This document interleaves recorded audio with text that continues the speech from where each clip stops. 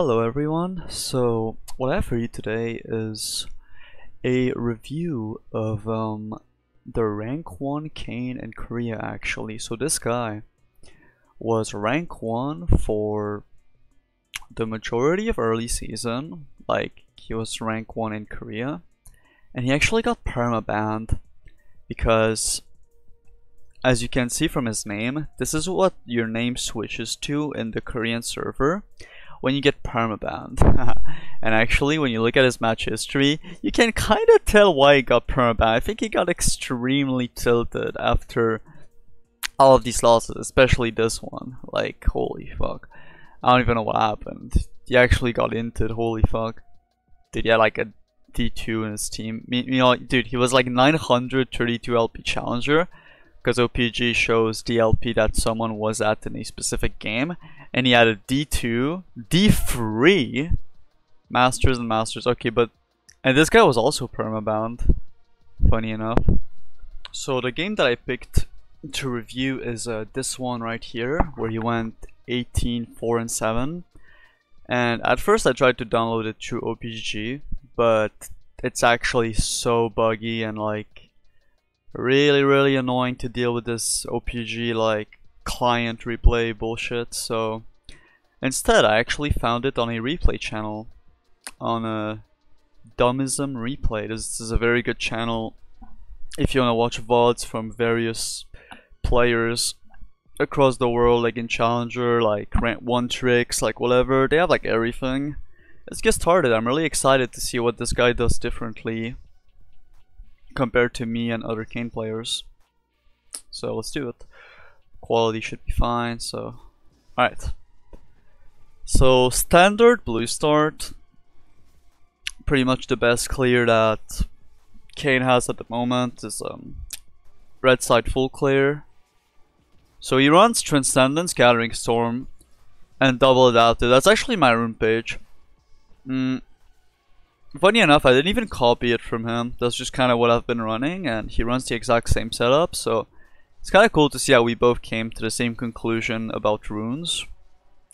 Of course, he levels E level 2. I know some Kayn players level W level 2, that's completely troll.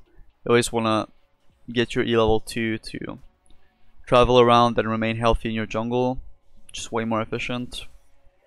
W basically does nothing for your clear, for your first clear at least.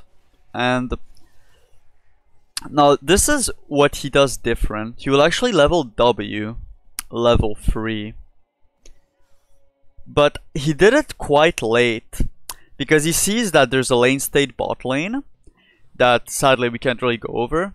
But he just goes to his blue. But he leveled W because he saw that there was an opportunity to gank bot like before he finishes his clear, right?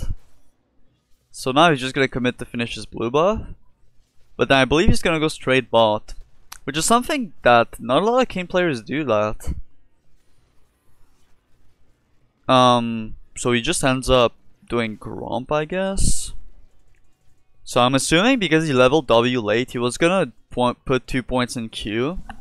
But then he saw that he could have maybe ganked bot. Yeah, see, like he's just hard hovering. So definitely interesting. I, I do not do that at all. Like if this was me, I would have just full cleared straight up and then went bot. He still does get a kill. Fairly easy for him. Now Sett just kind of runs it down because he has no choice and Aphelios picks up the kill. But yeah. Um, technically full clearing and going bot would have been the same result. And probably more efficient. But because this is a Korean server, he is way more alert of like what's happening in the lanes and um kind of prepare himself for the for the scenario where like their bot lane becomes gankable before he finishes full clear. So a very interesting play pattern actually. Um, now he's just typically doing the Raptor invade. It's also interesting that he does the Raptor invade before doing Crab. Because crab is kind of guaranteed, but the enemy camps are not guaranteed, so it's better to like go into the enemy jungle to take their free camps. If you have prio, of course. He had mid prio, because he's against Kassadin, right? Um, so it's way better to do that. than um, uh, go for crab, then further camps. So yeah, good, um, good play pattern.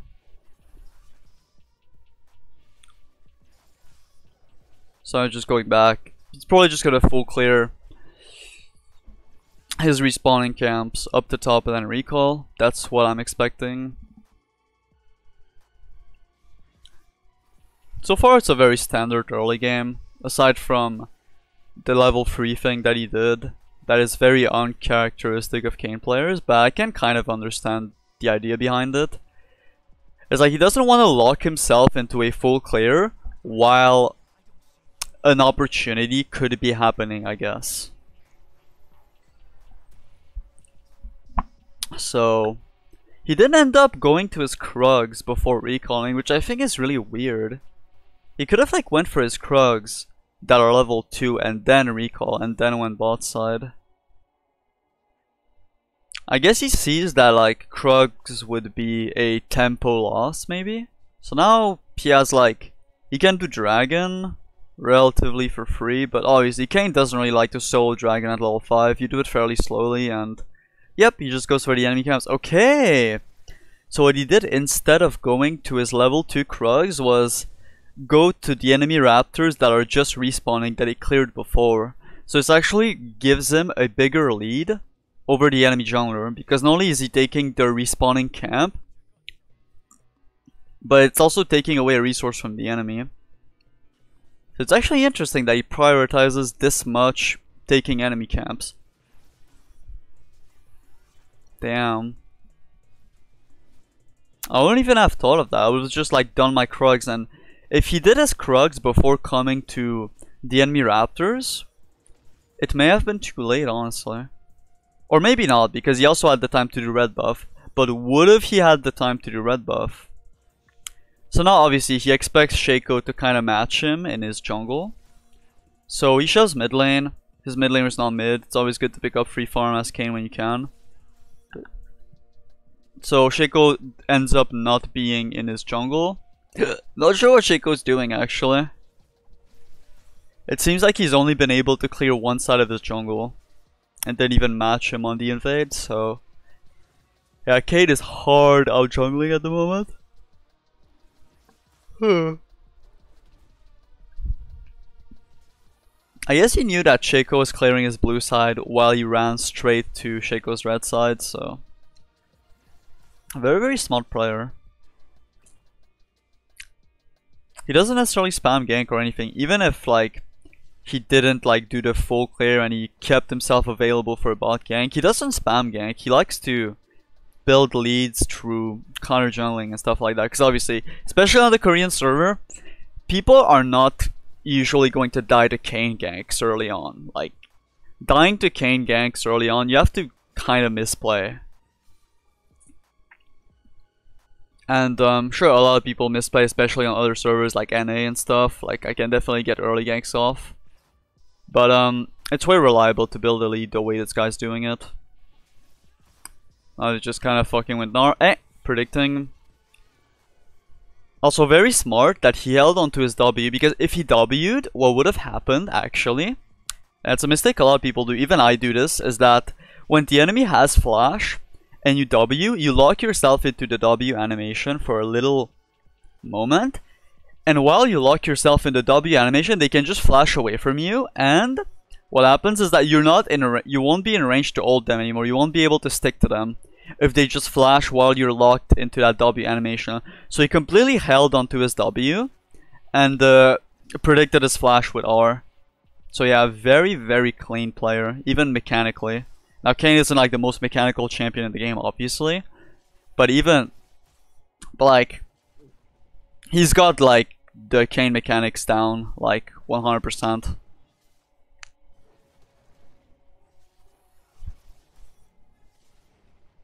I'm actually impressed.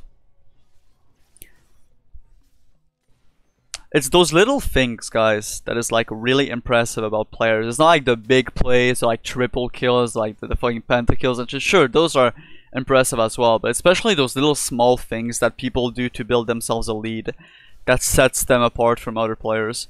Because sure, when you're already fed, it's not the hardest thing to do to like get a triple kill or like just wipe the enemy team. But the way he killed Gnar there, not a lot of Kayn players would have done that.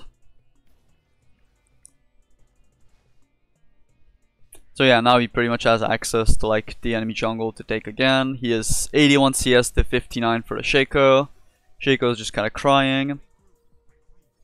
I just love how every single time he just runs into the enemy jungle because he has mid prio. Obviously, you don't do this shit if you have the Kassadin in your mid lane. And this is when he builds Prowler's Claw. So, touching on the build, he actually does a very similar build that I was doing before running Goredrinker. So a tier into Prowler's Claw. Usually you want to buy your Serrated Dirk first for that spike of damage. And then buy your tier. I don't know what he did this game though. But um, that's how I would do it at least. Is to first buy Dirk and then you get your tier. Because honestly, you don't have to get tier first buy. Because I feel like that kind of diminishes your early game by a lot. So he's just kind of going. He knows like, oh. So he used Prowler's Claw on the minion to get close to the real Shaco. And he almost killed him, but he couldn't quite get the ultimate off. Which is a bit unfortunate. Now he's kind of getting poked down by Gnar, but now he gets to ult Kassadin and boom. Yeah.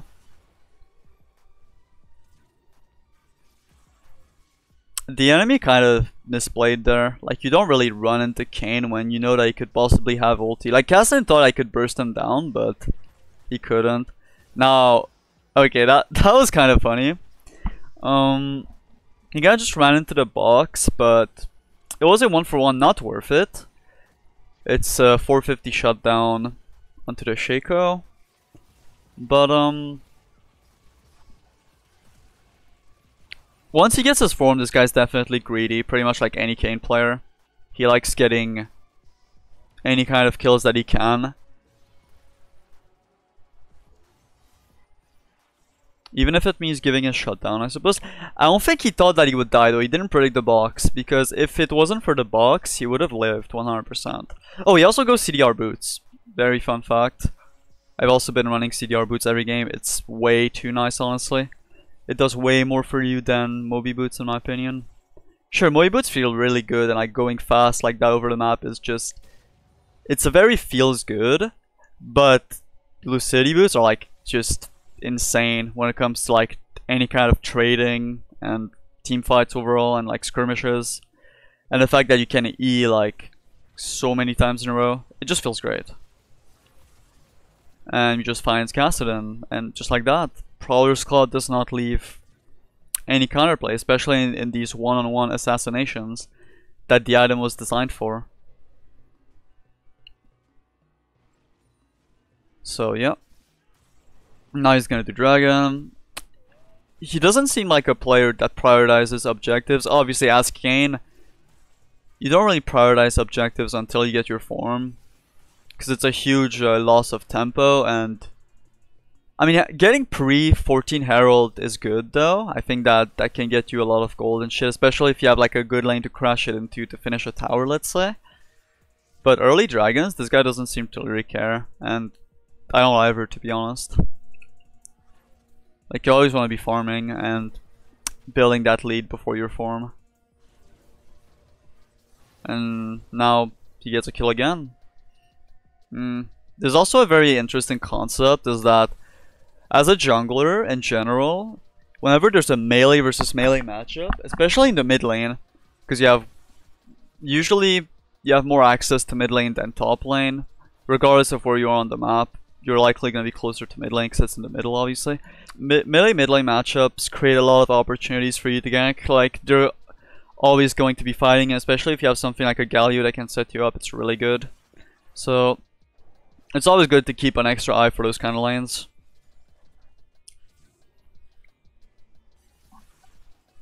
It's definitely easier to gank than range versus range or range versus melee. Because they're a bit spaced out. So yeah, now he's just... Farming his camps, keeping himself ahead. He's already level 12 to Shaco's level 9, so like all of that farm that he took early game and just the lead that he's built throughout all this time is definitely paying off. Like, and now he doesn't stop. Like he keeps going into the enemy's face, into the enemy jungle. Uh, uh, he still ends up like, even though he sees with his E that somebody's nearby, he doesn't care. He takes he takes the Krugs because he's Blue Kayn. He can always escape most situations. So this guy just counter jungles on repeat, non-stop. It's actually crazy. He does not stop, he farms the enemy camps on cooldown as if they were his own. I don't even think I, I counter jungle this relentlessly, I'm gonna be real. And he just... Okay, he gets kind of outplayed there. I mean outplayed. It's fucking Kai'Sa, you know? Like, Kai'Sa with her E and her ult, and she had flash, and she had heal. Like, you know, we can't really blame him for failing. Ha! the Maokai sapling took the big raptor. Uh, poor Kayn. Getting his shit stolen. Mm, but yeah, it's very hard to like kill Kai'Sa when all of her shit is up. Champion's just not. And imagine if Kai'Sa had Gale Force on top of that. She could even kill them, honestly. Depends. Yeah, he's just getting old. I'm not a huge fan of getting Herald after level 14. I mean, after 14 minutes, because... Yeah, like, the enemy...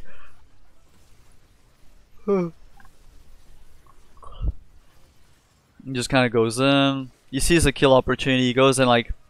Look at that swift motion, it just like kind of goes in and boom. See? Like, this was extremely well played.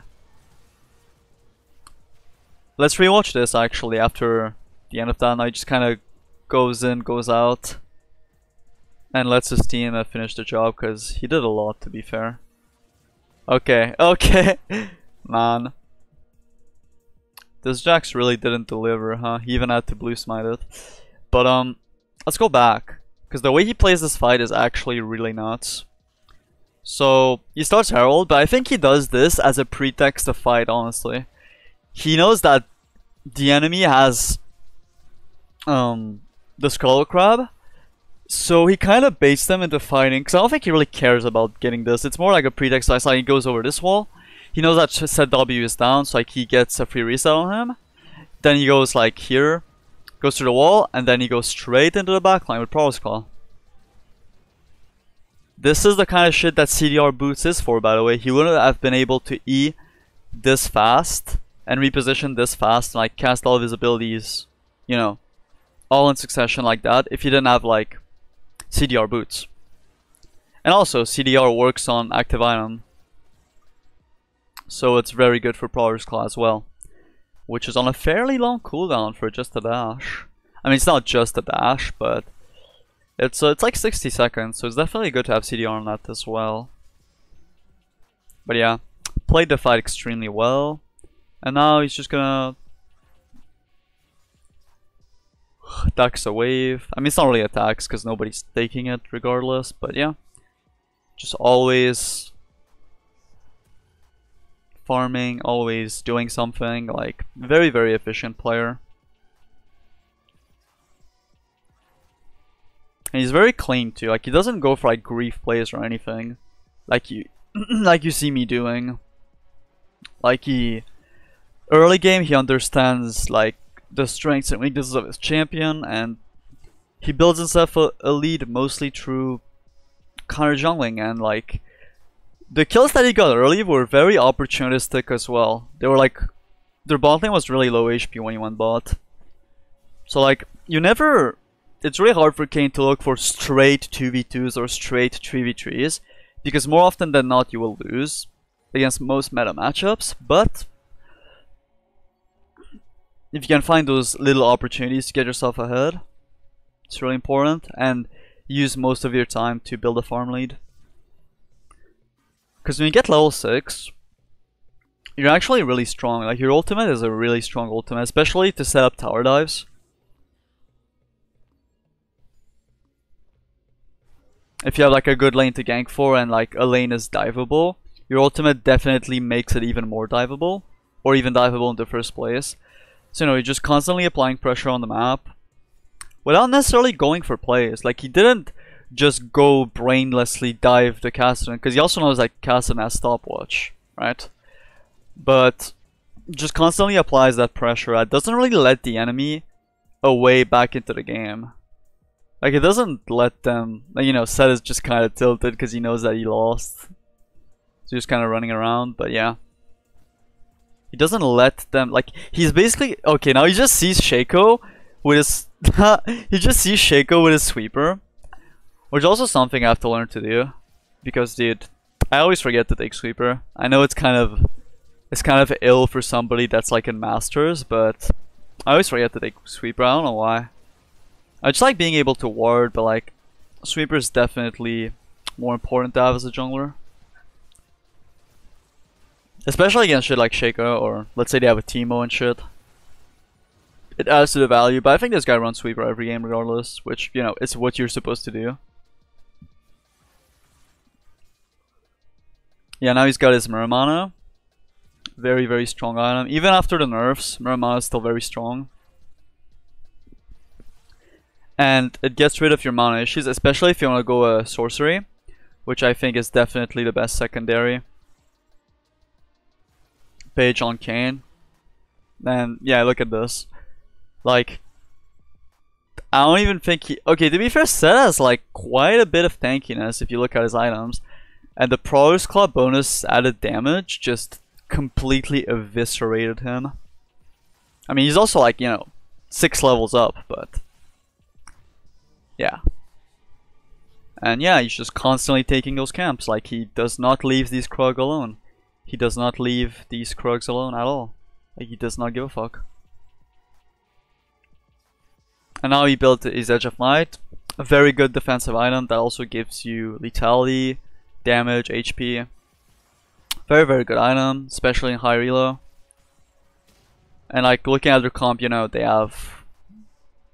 Hmm, I don't think that it's necessary to build Edge of Night against their comp. They don't have like straight up point click CC that can be annoying, but it's still always good, you know? Like no matter how you look at it, it's always good to have a of Night. Okay, now he kind of griefed his ultimate. I think he dies there, yeah. That was definitely a grief fight. Uh, let's rewatch it. So, he kinda... He kinda just tries to get in into the Sett. Like, he flashes... Okay, so he flashed to try to, like, kill the Gnar before he goes Mega. So I understand the idea. Like, then he ults the Sett, but he gets forced out of ultimate because his team actually kills the Sett, Which is a very feels bad moment for Kayn players. Like, if so, if you're low HP and somebody kills your target that you're ulting before you go out, you likely just die in a team fight setting. So that's what happened. I understand the idea that he was going for because you know, especially at this level of play, there's always an idea behind what players do. And I know this Kayn was going for like one-shotting Gnar before he goes Mega, but he did get his Mega off and his ulti off, which really set them back into the team fight. And from there it kind of went down because he had to ult somebody. He ulted the nearest target which was Sett because he was getting really low HP. Because of that Gnar ulti that kind of just fucked the team fight. And then he just died. So like this was more like... I wouldn't say unlucky. But like it went differently as he planned it. Like a really bad play would be something that you think a bad play would be something that like, you know, just doesn't make any sense under any circumstance. But like if he got to one-shot Gnar, which that's what he was going for, like there's no reason to flash into a Gnar unless you're trying to like, you know, prevent him from going Mega. That's what he was, he was going for. And now he just looks for the pick, follows him with Prowler's Claw, and then he just waits for his and he ults. Oh. What the fuck? What the fuck? Okay. I think I know what happened. Basically, Zhonya's... Zhonya's kind of took away all of the timer of the ulti because, you know, you need to have hit a target for at least 2.5 seconds to be able to ult them as Kayn. And I think Zhonya's just kind of ate all of that timer away, so he couldn't like ult him right away out of Zhonya's, and then he tried to like get an auto attack off before ulting, but obviously that's a bit slow considering he was half HP, so Kassadin just kind of bursted him down. Damn. So even in Korean Challenger, people tend to do mistakes like that. Like it happens, you know? It kind of shows us that this guy is still mortal at the end of the day, he's still human. Like sometimes he also does mistakes. Sometimes he goes for plays that ne don't necessarily go the way that he that he planned them to do, and that's completely normal. And he just moves on with his game and doesn't tilt or anything. Now he did probably tilt when you know, as as I've showed you before, like his massive loss streak before the account got permabanned. But when it's a win game, winnable game like this, even if grief plays happen, like just kind of move on and do your own thing. Like he still takes the enemy camps, he still sticks to his game plan, you know. Constantly applying pressure. What he's doing there is kind of spicy, yeah, like with the Prowler's Claw. Prowler's Claw helps a lot with killing champions like Kai'Sa though, like holy shit. I can't wait to go back to this island. I I've taken a bit of a break from solo queue because I've just been tilt queuing really hard and I could clearly notice that the quality of my gameplay was degrading, so I'm just taking a little break. And I thought uh, I would just do this review so we can, you know, both learn something together. Because yeah, I'm also learning myself watching this, you know, like this guy definitely plays different than I do. And it's very interesting to see in action. Now obviously, you're not gonna be able to do what this guy does every single game. Like this is one game. Obviously, if he didn't have mid prio and if things were different, he wouldn't be able to like perma invade Shaco. Especially because it's Shaco, you know. Imagine if he was facing Olaf or like Hecarim, that would be different. But also, but you should probably always be asking for Hecarim to be banned. I always ban Graves personally, because that matchup is just disgusting. But um, Asking for Hecarim ban's also really good, so now he's just kinda... He's getting cucked by these boxes though, holy fuck. And he just kinda flashes in, he's kinda just done, he's like... He's like, fuck this shit, man. Like, I'm done with all of you. And he just flashes in, and kills the Kassadin. I think he got tired of like running into Shaco boxes and just like watching the one the enemies with 1 HP danced around him, so he was like, yeah, no, fuck you guys, I'm using my flash. and now he's gonna go get a free pick in the side lane. Kayn obviously very good champion to get picks in the side lane with. Even if it's an R, it doesn't matter. A fed blue Kayn can kill pretty much anything. Now, I have no idea what Kassadin was doing there, but I guess he just walked into his death. He just TP'd to to the gray screen, I suppose. So are they doing Baron? Yeah, I think that like Aphelios and yeah, Aphelios and Maokai are just joeing Baron while he's applying pressure. That's a way to do it, I mean if you have like a really strong ADC that can do Baron really fast, you can do that as well. The enemy will never expect it to happen and no the enemy jungler won't really position for a steal because they won't know that you're sneaking Baron because people assume that the jungler always has to be there in case for a Baron but he really doesn't. So this is nearing the end of the game. Um, he probably dies here. Yeah, he, he actually dies into the spawn fountain. Dude, he ran into it like, dude, he he ran out of his ulti into a box. That's so tragic. Into the spawn fountain. but yeah. That was a really cool game though. Definitely got to learn a lot of things and so yeah this was the rank 1 Kayn Korea who got permabanned. I don't know what his other accounts are. Maybe like we'll we'll get to see this guy in the ladder once he climbs back. Who knows? But um, yeah. Anyways, hope you guys learned something. If you did, be sure to leave a like and subscribe, and hope you guys enjoyed those kind of videos, and yeah, I'll see you guys around. Peace.